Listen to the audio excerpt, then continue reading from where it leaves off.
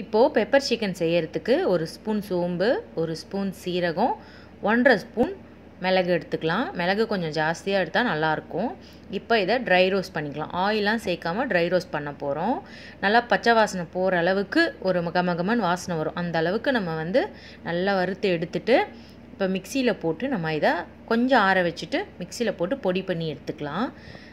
So இது உரமாக இருக்கட்டும். இப்போது ஆயில் சேர்த்துட்டு கொஞ்சமாக சோம்பு அதுக்கப்புறமா ஆனியன். நல்லா ஆனியன் வந்து பொடி பண்ணி வச்சுருந்த ஆனியனாக இருந்தால் நல்லா நல்லா பொடியாக இருந்ததுன்னா சீக்கிரமாக வதங்கிடும். அந்த மாதிரி எடுத்துக்கோங்க.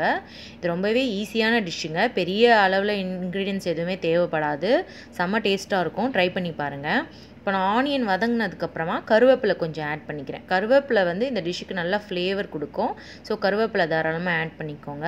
கருவேப்பிலை ஆட் பண்ணி ஒரு தேர்ட்டி செகண்ட்ஸ் வதங்கினதுக்கப்புறமா இஞ்சி பூண்டு பேஸ்ட் ஆட் பண்ணிக்கோங்க. இஞ்சி பூண்டு பேஸ்ட்டு ஒரு ஒன் ஒன்றுலேருந்து ஒன்றரை ஸ்பூன் உங்களோட உங்கள் அளவுக்கு ஏற்ற மாதிரி ஆட் பண்ணிக்கோங்க.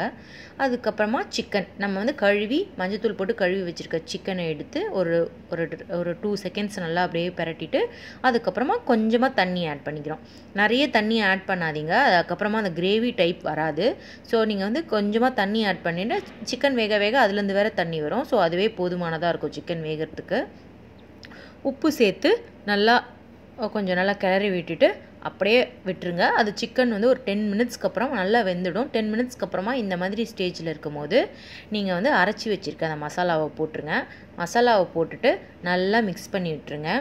ஸோ சால்ட் எல்லாமே ஃபஸ்ட்டு போட்டோம் இல்லையா? அதுவே கரெக்டானதாக இருக்கும். தேவை என்னென்னா டேஸ்ட் பண்ணிவிட்டு அப்புறமா நீங்கள் ஆட் பண்ணிக்கலாம். ஸோ நல்ல மசாலா வந்து ரொம்ப நேரம் மசாலாக்கு தேவையில்லை. டூ டு த்ரீ மினிட்ஸ் போதும் இந்த மசாலா வந்து வாசனை போகிறதுக்கு ஸோ நல்லா மிக்ஸ் பண்ணி விட்டுட்டு நான் கொஞ்சமாக ஒரு ரெண்டு ஸ்பூன் தண்ணி ஆட் பண்ணிவிட்டு திருப்பி நல்லா மிக்ஸ் பண்ணி விடுறேன். அந்த மசாலா வந்து வேகிறதுக்காக.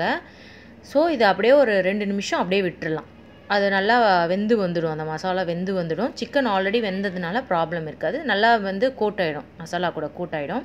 இப்போது இந்த ஸ்டேஜில் நல்லா எண்ணெய் பிரிஞ்சு வந்திருக்க ஸ்டேஜில் நம்ம வந்து மல்லித்தழையை நல்லா தூவி தூவிட்டு நம்ம வந்து இறக்கி சர்வ் பண்ண வேண்டியது தான் ரொம்ப சூப்பராக இருக்குங்க இந்த டிஷ்ஷு ட்ரை பண்ணி பாருங்கள் உங்களுக்கு ரொம்ப பிடிக்கும். ரொம்ப ஈஸியாக பத்து நிமிஷத்தில் சிக்கனை வச்சு புதுசாக நம்ம செஞ்சிடலாம். பிரியாணி கூட வச்சு சாப்பிட்டா சூப்பராக இருக்கும். சப்பாத்திக்கு சூப்பராக இருக்கும். பரோட்டாவுக்கு சூப்பராக இருக்கும்.